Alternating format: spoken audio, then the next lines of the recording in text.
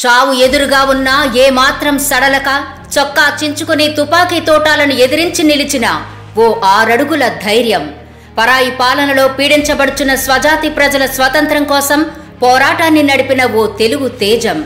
న్యాయవాద వృత్తిలో రాటుదేలి రాజకీయ కురుక్షేత్రంలో క్రియాశీల పాత్ర పోషించిన అభినవ అభిమన్యుడు.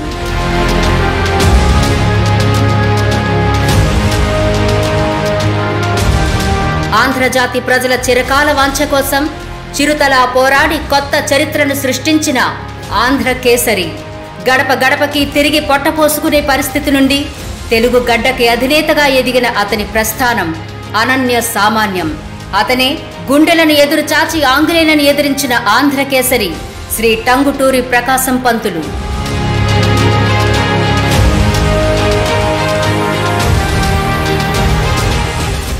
టంగుటూరి ప్రకాశం పంతులు పద్దెనిమిది వందల డెబ్బై రెండవ సంవత్సరం ఆగస్టు ఇరవై మూడున ఇప్పటి ఒంగోలు జిల్లా వినోదరాయనిపాలెం గ్రామంలో జన్మించారు.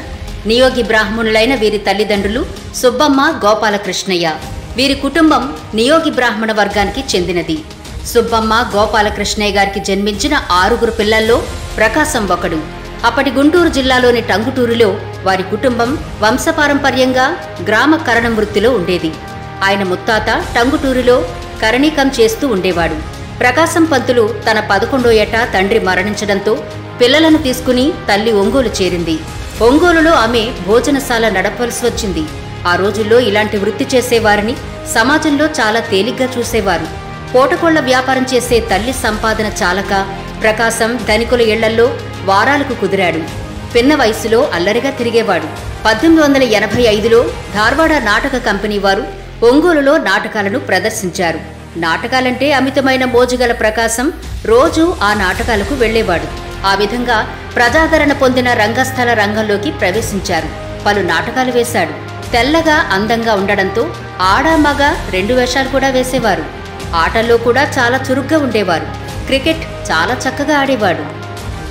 ఎన్ని కష్టాలు ఎదురైనా ఏమాత్రం హడలిపోక చాలా అల్లరిగా ఉత్సాహంగా గడిపిన ప్రకాశం పంతులు వల్లూరులో తన ప్రాథమిక విద్య పూర్తి చేశాడు.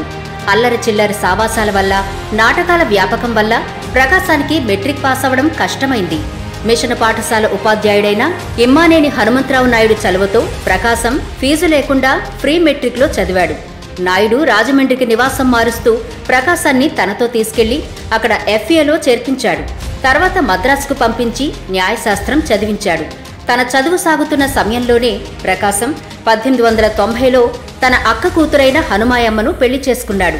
ఆ తర్వాత కొద్ది కాలం పాటు ఒంగోలులో న్యాయవాద వృత్తి చేసి పద్దెనిమిది వందల తొంభై నాలుగులో మళ్ళీ రాజమండ్రి చేరాడు. వృత్తిలో బాగా పేరు పుష్కలంగా సంపాదన సంపాదించాడు. ఎంత సంపాదించినా కానీ సెకండ్ గ్రేడ్ ప్లేడర్గానే ఉండిపోయాడు. దీంతో పై స్థాయి కోర్టులలో వాదించడానికి ప్రకాశం పంతులుగా అర్హత లేదు. బారిస్టర్లకు మాత్రమే ఆ అర్హత ఉండేది. ఒకమారు ప్రకాశం ప్రతిభ గమనించిన ఒక బారిస్టరు ప్రకాశాన్ని కూడా బారిస్టర్ అవ్వమని ప్రోత్సహించాడు. ఆ సలహా నచ్చి ప్రకాశం పంతొమ్మిది వందల నాలుగులో ఇంగ్లాండ్ వెళ్ళాడు. వెళ్ళే ముందు మహాత్మా గాంధీ లాగానే మద్యం మాంసం పొగాకు ముట్టనని తల్లికి మాట ఇచ్చి ఒప్పించాడు. దీక్షగా చదివి బారిస్టర్ అయ్యాడు. అక్కడ భారతీయ సొసైటీలో చేరి దాదాభాయ్ నవరోజీ బ్రిటిష్ పార్లమెంటుకు ఎన్నిక కావడానికి ప్రచారంలో పాలు పంచుకున్నాడు. ఆ సమయంలో ప్రకాశానికి జాతీయ భావాలు సాంఘిక కార్యక్రమాలపై ఆసక్తి పెరిగింది. పంతొమ్మిది వందల నాలుగులో ఇంగ్లాండ్ వెళ్ళి అక్కడే పంతొమ్మిది వందల ఏడులో లండన్లో ప్రశంసాపత్రంతో బారిస్టర్ కోర్సు పూర్తి చేసుకుని భారతదేశం తిరిగి వచ్చారు. ఇండియా తిరిగి వచ్చాక మద్రాస్ హైకోర్టులో ప్రాక్టీస్ ప్రారంభించారు. అప్పట్లో మద్రాసులో ప్రసిద్ధి చెందిన బారిస్టర్లందరూ ఆంగ్లేయులు లేదా తమిళులు ఉండేవారు. పేరు పొందిన తెలుగు బారిస్టర్లలో ప్రకాశం పంతులే ప్రప్రథముడు. ప్రకాశం పౌర నేర వ్యాజ్యాలన్నింటినీ చేపట్టేవాడు. ప్రకాశం లా టైమ్స్ అనే న్యాయవాద పత్రికకు కూడా సంపాదకత్వం వహించేవాడు. అదే సంవత్సరం బ్రిటిష్ ప్రభుత్వం పాల్ ప్రసంగాలు రాజద్రోహాన్ని ఉసుగొల్పేవిగా ఉద్రేకపూరితంగా ఉన్నాయని భావించడం వలన ఇతరులు ముందుకు రావడానికి భయపడే సమయంలో ఈయన బిపిన్ చంద్రపాల్ ఇచ్చిన ప్రసంగాలకు హాజరయ్యేవాడు. లక్నో ఒడంబడిక తర్వాత ప్రకాశం కాంగ్రెస్ పార్టీ మీటింగ్లకు తరచుగా హాజరు కావడం ప్రారంభించి పంతొమ్మిది వందల ఇరవై ఒకటి అక్టోబరులో సత్యాగ్రహ ప్రతినిపై సంతకం చేశాడు. పంతొమ్మిది వందల ఇరవై ఒకటిలో స్వాతంత్ర సమరంలో అడుగుపెట్టి వృత్తిని వదిలిపెట్టే నాటికి లక్షల్లో సంపాదించాడు. ఆఖరికి ఆ యావదాస్తిని దేశ సేవకి ఖర్చు చేశాడు. కొన్ని రోజుల తర్వాత లాభదాయకమైన న్యాయవాద వృత్తిని వదిలి ఇంగ్లీష్ తెలుగు తమిళ భాషల్లో ఏకకాలంలో విడుదలవుతున్న స్వరాజ్య పత్రికకు సంపాదకత్వం చేపట్టాడు. ఈయన ఒక జాతీయ పాఠశాలతో పాటు ఒక ఖాదీ ఉత్పత్తి కేంద్రాన్ని కూడా నడిపాడు. పంతొమ్మిది వందల ఇరవై ఒకటి డిసెంబర్లో జరిగిన అహ్మదాబాదు సదస్సులో కాంగ్రెస్ పార్టీ ప్రధాన కార్యదర్శిగా ఎన్నికయ్యాడు. ఏదైనా అలజడి కానీ కల్లోలం కానీ జరిగినప్పుడు ప్రజలను ఓదార్చేందుకు అక్కడ పర్యటించేవాడు. ఈయన అకాలీ సత్యాగ్రహం అప్పుడు పంజాబ్ ప్రాంతంలో హిందూ ముస్లిం ఘర్షణలు తలెత్తినప్పుడు ముల్తాన్లోనూ పర్యటించాడు. కేరళలో మెప్లా తిరుగుబాటు సమయంలో బయటి ప్రాంతాల వారిపై నిషేధం విధించినా లెక్క చేయకుండా ఆ ప్రాంతాన్ని పర్యటించి పర్యవసానంగా ఊటీలోని తన ఆస్తిని ప్రభుత్వానికి ధారాదత్తం చేశాడు. పంతొమ్మిది వందల ఇరవై రెండులో సహాయ నిరాకరణోద్యమం సందర్భంగా గుంటూరులో ముప్పై వేల మంది స్వచ్ఛందకులతో ఒక ప్రదర్శనను నిర్వహించాడు. పంతొమ్మిది వందల ఇరవై ఆరులో కేంద్ర శాసనసభకు కాంగ్రెస్ పార్టీ అభ్యర్థిగా ఎన్నికయ్యాడు. అక్కడ విఠల్భాయ్ పటేల్ మదన్ మోహన్ మాలవ్య జిన్నా జీడి బిర్లా వంటి జాతీయ నాయకులు ప్రకాశం సహచరులు. జాతీయ రాష్ట్ర రాజకీయాల్లో చురుగ్గా పాల్గొని పంతొమ్మిది వందల ఇరవై ఒకటిలో ఆంధ్ర ప్రాంతీయ కాంగ్రెస్ కమిటీ అధ్యక్షుడిగా ఎన్నికయ్యాడు. పంతొమ్మిది వందల ఇరవై ఒకటి అక్టోబర్ ఇరవై తొమ్మిదిన స్వరాజ్య అనే దినపత్రికను ప్రారంభించాడు. కొద్ది కాలంలోనే ఈ పత్రిక మంచి ఆదరణ చూరగొంది. దీని తెలుగు తమిళ సంచికలకు ప్రజలు ఎగబడ్డారు. పంతొమ్మిది వందల ఇరవై ఎనిమిదిలో మద్రాసులో సైమన్ కమిషన్ బహిష్కరణ ఉద్యమంలో పాల్గొన్నారు. పంతొమ్మిది వందల ఇరవై ఎనిమిది మార్చి రెండున సైమన్ కమిషన్ బొంబాయిలో అడుగుపెట్టినప్పుడు పోలీసులు మద్రాస్ వంటి సున్నిత ప్రదేశాల్లో నిరసన ప్రదర్శనలను అనుమతించలేదు. అయితే ప్యారిస్ కార్నర్ వద్ద మద్రాస్ హైకోర్టు సమీపంలో మోక విపరీతంగా పెరిగిపోయింది. వాళ్ళను చెల్లాచెదురు చేయడానికి పోలీసులు కాల్పులు జరిపారు. పార్థసారథి అనే యువకుడు కాల్పులకు గురై అక్కడికక్కడే మరణించాడు.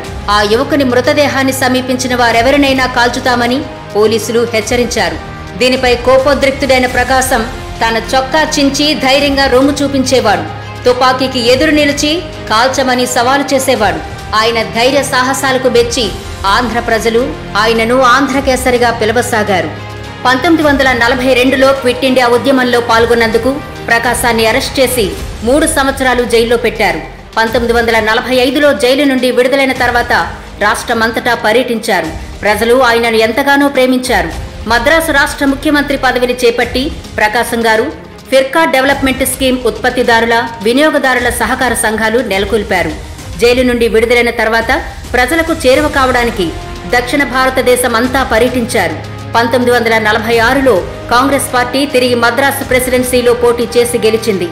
ఈ తరుణంలో పంతొమ్మిది వందల నలభై ఆరు ఏప్రిల్ ముప్పైన ప్రకాశం మద్రాసు ముఖ్యమంత్రిగా ఎన్నికయ్యాడు. ఈయనతో పాటు తమిళ నాయకుడైన కె. కామరాజ్ జాతీయ నాయకులైన గాంధీ నెహ్రూల అభ్యర్థి అయిన రాజాజీ ముఖ్యమంత్రి అవడాన్ని వ్యతిరేకించారు. అయితే పార్టీలోని వివిధ వర్గాల విభిన్న అభిమతాలకు అనుగుణంగా పనిచేయలేక ప్రకాశం ప్రభుత్వం కేవలం పదకొండు నెలలే మనగలిగింది. పంతొమ్మిది వందల నలభై ఏడులో దేశానికి స్వాతంత్ర్యం వచ్చాక మద్రాసులో తెలుగువారిపై పెల్లుబికిన అవమానాలు అసమానతల మూలంగా పంతొమ్మిది వందల యాభై రెండు డిసెంబర్లో పొట్టి శ్రీరాములు ప్రత్యేక ఆంధ్ర రాష్ట్ర సాధనకై ఆమరణ నిరాహార దీక్ష చేస్తూ మరణించడంతో ఉద్యమం తీవ్రతరమైంది.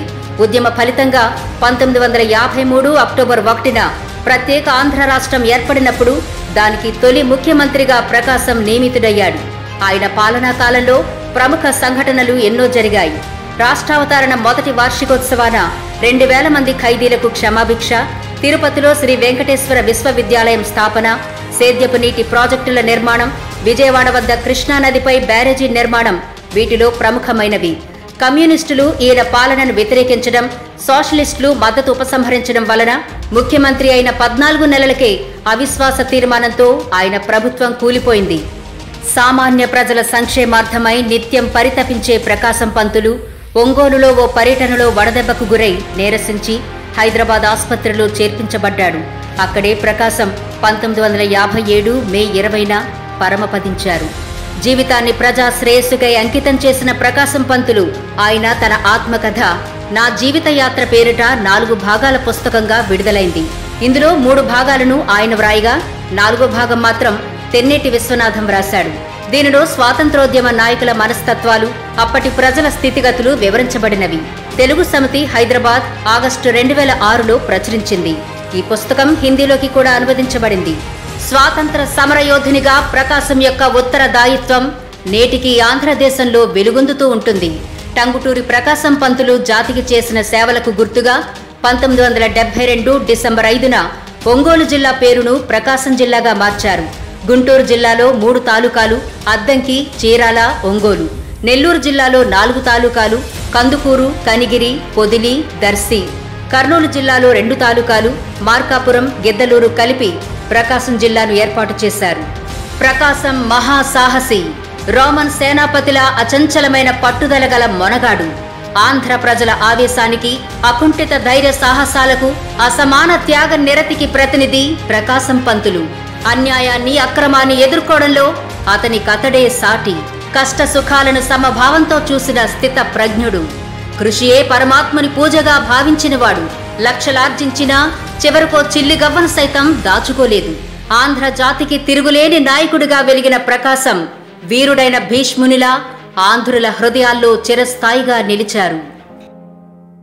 జై హింద్! ఈ వీడియో కనుక మీకు నచ్చినట్లయితే దయచేసి షేర్ చేయండి లైక్ చేయండి మరియు కామెంట్ చేయండి. అలాగే మీరు ఏదైనా విషయాన్ని మా నుండి వీడియో రూపంలో చూడాలనుకుంటే దయచేసి కామెంట్ సెక్షన్లో మాకు తెలియచేయండి. ధన్యవాదాలు.